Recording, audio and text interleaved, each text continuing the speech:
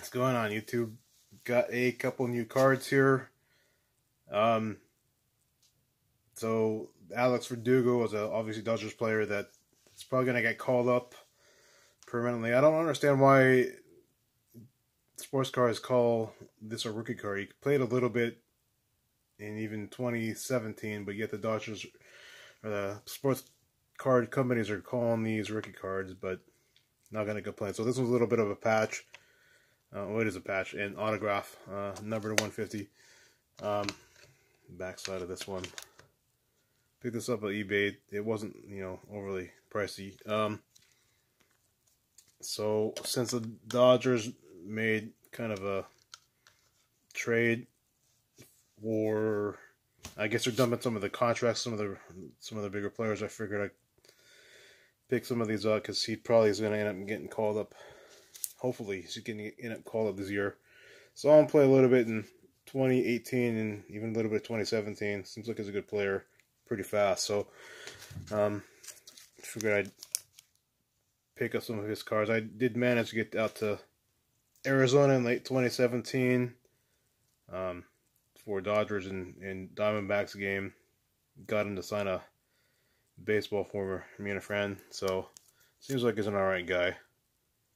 Um, went to Dodger Stadium late last year. I guess it was the last Dodgers home game of the regular season.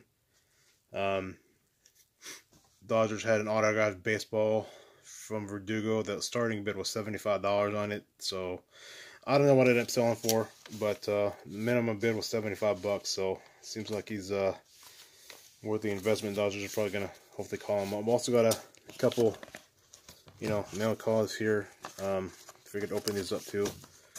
Um, put this one up while I'm open that. Um,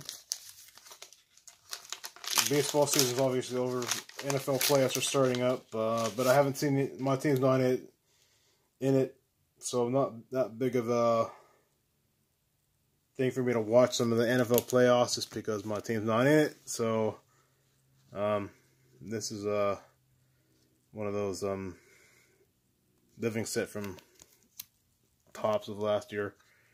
So another another card that uh, I don't know. My thing is going to get graded. So these ones are pretty hard to to get a good grade on. I sent a couple out last month to PSA. Haven't gotten those back yet, so kind of hesitant to send anything more. And I end up uh, seeing in some other YouTube videos where these cards aren't coming back with the best grades, but they're kind of hit and miss. So, uh, these are all Dodgers cards that I'm picking up. So, Walker Buehler, I know he was in the, I guess, running for Rookie of the Year. Didn't do that great in, well, he did pretty good, but had one kind of a bad game for the Dodgers. So, these are the 2018 Topps. I think can't remember what the name of these um, this set in the Topps is called. Somebody who's watching can remind me. Um, so this is the other one that I end up picking up. Verdugo. These are all Dodgers cards that obviously picking up. So um, saw these on um, somebody else's channel. I figured, hey, these look pretty cool. So they were willing to sell them. Got them for pretty cheap. So, like I said, these uh Verdugo seems like is an alright guy. And then the Buehler, this was kind of another cool card too that I wanted to pick up. So Walker Buehler actually pretty good for the Dodgers last year. So um we'll see what happens. Did pick up a couple other cards too. A while back just to get everyone shown. This guy is a Vilardi. He's a prospect for the LA Kings.